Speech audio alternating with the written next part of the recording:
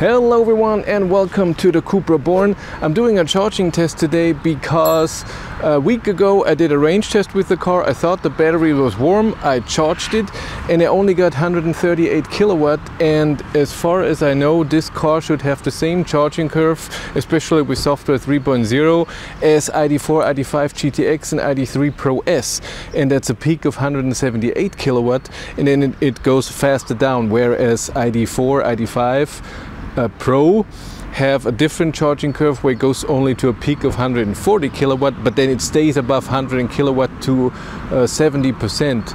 Um, and again, I thought this would have the, the GTX curve and uh, it only had 138 kilowatt. And today I drove the car down to 10% I, I YOLO'd it so a lot of power and a lot of regen. It, uh, the battery was at 28 degrees when I plugged in checked it with EV Notify so uh, the, the everything should be perfect for perfect charging power and I will go into the studio and then we analyze the charging curve. Now I'm here at home and I analyzed the footage of the charging screen. And let's go through how it looked like if it any different than the Skoda Enyaq uh, Coupe RS that I tested a few months ago which has the charging curve of ID4, ID5 GTX and ID3 Pro S. And again it should be the exact same here on the Cupra Born 77 kilowatt hour. But let's see look at the screen starting with 167 kilowatt going up fast to 174 which is the peak. At 20% we're already at 165 kilowatt. At 30% we're at 138 kilowatt. Um, voltage is very low 376 volt only. At 40% we have 115 kilowatt. And we go under 100 kilowatt charging power at 48 percent and then after well, 50 minutes I started at 11% and then we're going down 74 kilowatt at 56% under 70 kilowatt at 58% um, it goes up a bit which is weird. So it goes down and bit up. And maybe this is because uh, the battery was too warm 28 degrees when I started charging. The best temperature I've heard once is 25 degrees for the battery to get the best charging power 70% only 58 kilowatt. There went up a bit to 61 or so.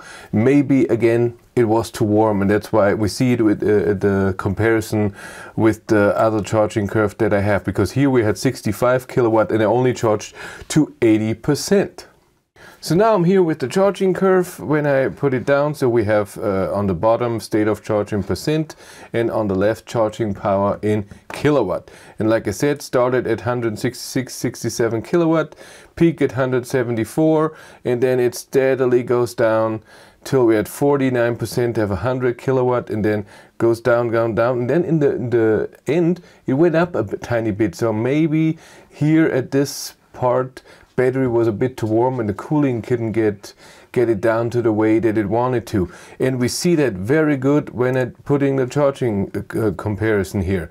So here in red we have the Cupra Born and in blue is the uh, charging curve that had with the en uh, Skoda Enyaq Coupe RS, like I said, the GTX curve where that went up to 177 kilowatt, eh, but went under 100 kilowatt at 42%, 42, 43. Here we only uh, go up to 174 and we go under 100 kilowatt at 49%.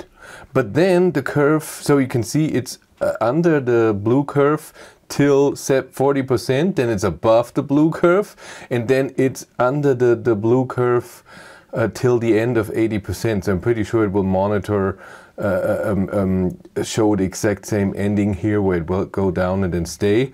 Um, but this looks like it's still the same charging curve, just the battery temperature wasn't perfect.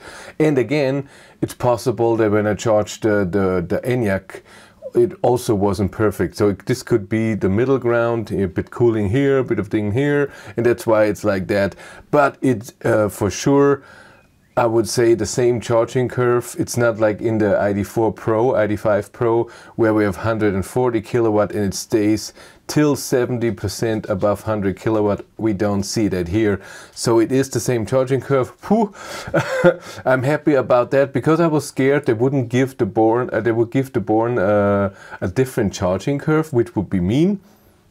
Uh, but I did my, my, my range test at 130 and usually so far when I drove MEB platform cars when you drive with 130 a range test the battery at the end even in deep winter is warm enough for a good charging test. But I plugged in at can't remember what it was 10% maybe less and I only got 138 kilowatt. And I, and I, thought it's not the old with 126 kilowatt it's not the new with 170 kilowatt.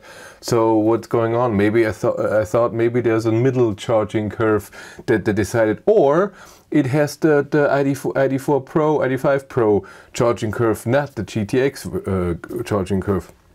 But I'm glad it's like this, so we know it. That's it for me. Thank you very much for watching. Have a great day and take care. Bye.